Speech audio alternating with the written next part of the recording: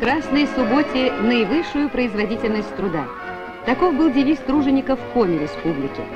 Комсомольско-молодежный отряд, работающий на строительстве третьей очереди газопровода «Сияние Севера», носит гордое имя «Корчагинцы». В отряде посланцы всех республик страны. Мы помним, как строил узкоколейку Корчагин. Мы помним героический труд комсомольцев 20-х и 30-х годов, зачинателей великого почина. Мы будем работать, как они.